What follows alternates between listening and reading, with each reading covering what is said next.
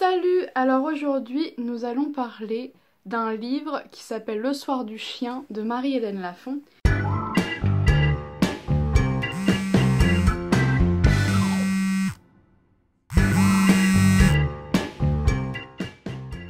qui est sorti en 1996 et qui a reçu le prix Goncourt lycéen, je crois.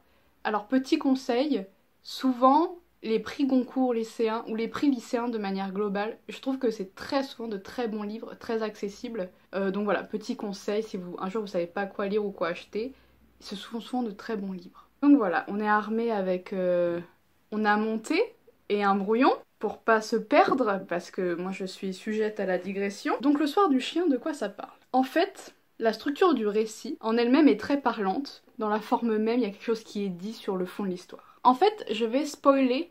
Le truc, c'est que je crois sincèrement qu'il y a des livres, c'est pas grave si on les spoil. Et je pense qu'on ne lit pas Marie-Hélène Lafont pour être surprise. En gros, je vais vous parler de tout le livre, mais je crois que l'intérêt de Marie-Hélène Lafont, ce n'est pas tellement euh, la surprise, quoi. Vous voyez? C'est pas un thriller, quoi, ça que je veux dire. Donc, ça parle d'une histoire d'amour, et en fait, la structure est est très linéaire, c'est-à-dire que c'est chronologique. Euh, on a un narrateur qui fait une analepse. Alors je vais commencer à dire des gros mots à nouveau. C'est-à-dire qu'on a un personnage, théoriquement dans le présent, qui narre, qui est le narrateur, qui va raconter une histoire qui lui est arrivée dans le passé. Donc analepse, c'est faire un saut comme ça avant. Est-ce que c'est clair? Je ne sais pas. Les structuralistes, ils nous emmerdent. Donc c'est une forme euh, en théorie qui est quand même assez classique, avec une, forme du récit assez pyramidale entre l'amorce, le développement de l'histoire d'amour, et puis point de rupture, et vers le milieu du livre, donc point de rupture euh, aussi amoureux, spoil. Et ensuite, on a la désescalade. Apprendre à vivre avec... Euh,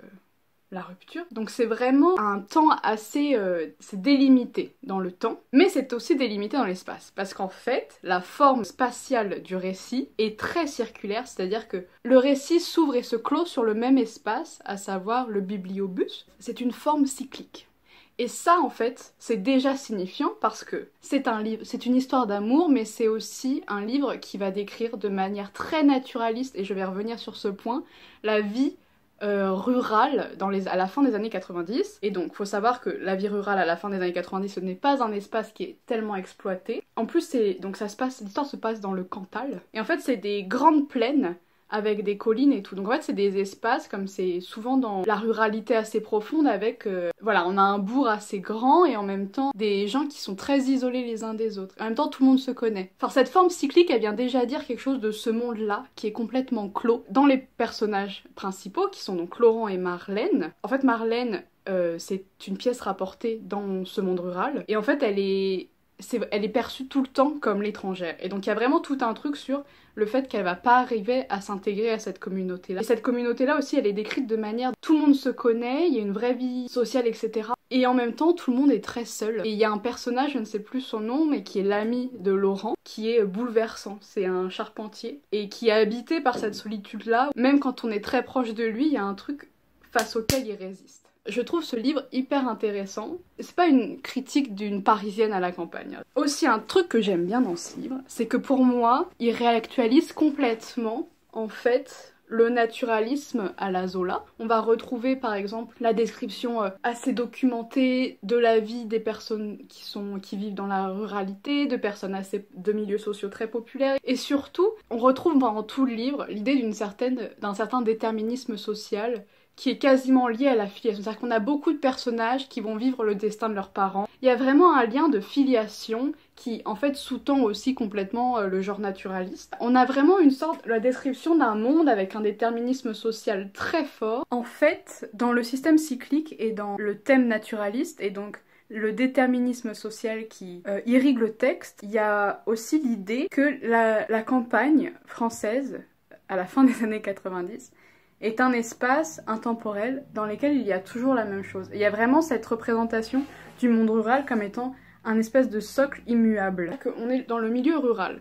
D'habitude, dans la description de la campagne, une des traditions littéraires qui est très marquée, en France en tout cas, c'est la traduction de la pastorale et du bucolique. Et là, c'est vraiment... Euh, ça reprend en gros quand même l'imaginaire de la campagne, Sauf que ça en fait quelque chose de très âpre. En fait, c'est un espace qui est dur. Et d'ailleurs, le Cantal est décrit d'une manière, c'est une terre qui ne peut pas être domptée. C'est-à-dire que c'est une terre aride où, par exemple, il va neiger 6 euh, mois sur 12 du coup. Et il va faire froid le 3 quarts du temps. C'est vraiment un espace qui n'est pas, voilà, qui n'est pas domptable. Évidemment, l'espace indomptable renvoie aussi au personnage de Marlène. Donc là, on va passer à un deuxième niveau d'analyse, à savoir les personnages.